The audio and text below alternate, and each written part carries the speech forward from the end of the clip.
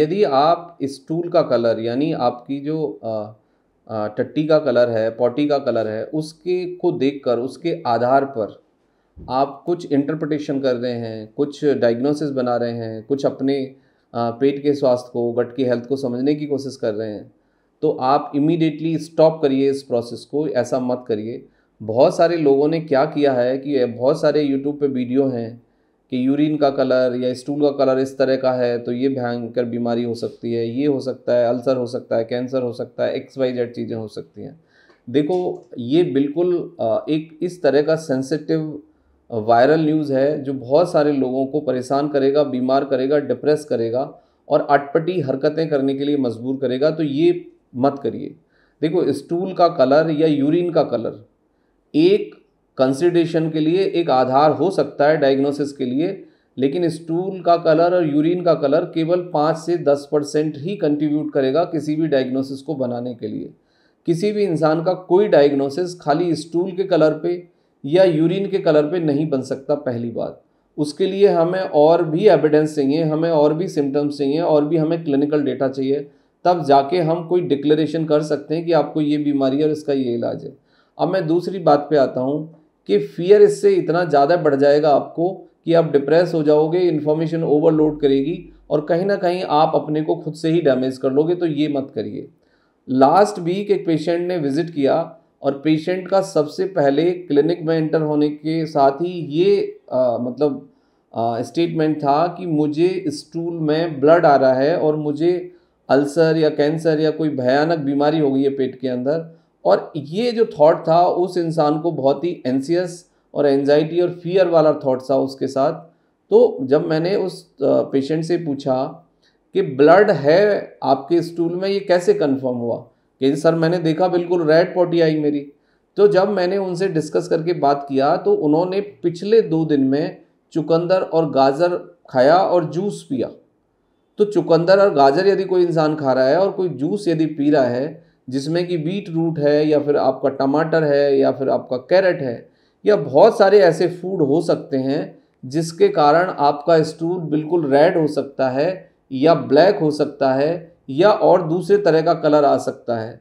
तो स्टूल के कलर को देखकर उसको आधार मान लेना और अपने को बीमार डिक्लेयर कर देना और अल्सर या फिर कैंसर मान लेना, ये एक बहुत बड़ी मूर्खता है, ये एक बहुत बड़ा गलत तरीका है जिससे कि आप खुद अपने को डैमेज कर लेंगे तो ये आपको नहीं करना है।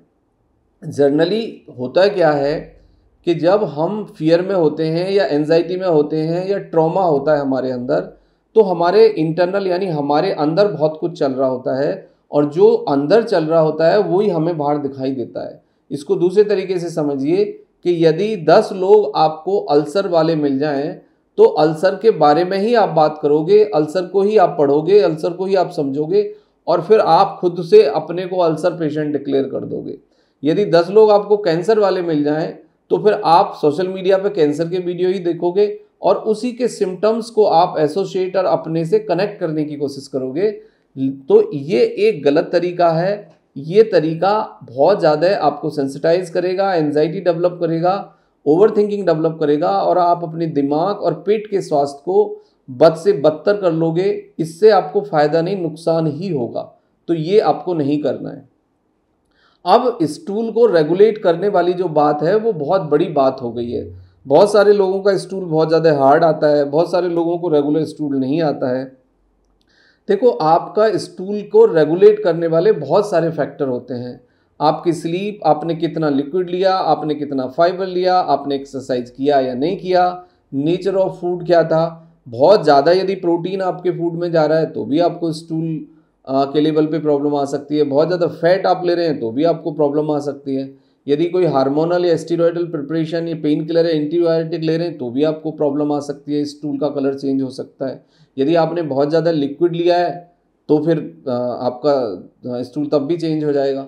तो आपका जो फ़ूड है, वो बहुत सारे फैक्टर पे निर्धारित करता है, से निर्धारित होगा, जैसे stress sleep food quality of food और फ़ूड का क्या रेशियो था और फ़ूड आपने कितनी देर में खाया चू करके खाया, नहीं खाया और आपके की फ़िज़िकल हेल्थ मेंटल हेल्थ फिर आपकी गट हेल्थ ये सब फैक्टर डिसाइड करते हैं। तो आप स्टूल को टॉर्च से देखने के बजाय, आप यूरिन और पेशाब को देखने के बजाय मॉनिटर करने के बजाय आप दूसरे फैक्टर को ठीक करिए और उसको छोड़ दीजिए। जब दूसरे फैक्टर ठीक होंगे तो आपका स्टूल और urine automatically will all right और आपका गट भी ठीक हो जाएगा। उसके लिए टाइम से खाना खाइए। अपने हंगर टाइम को समझिए।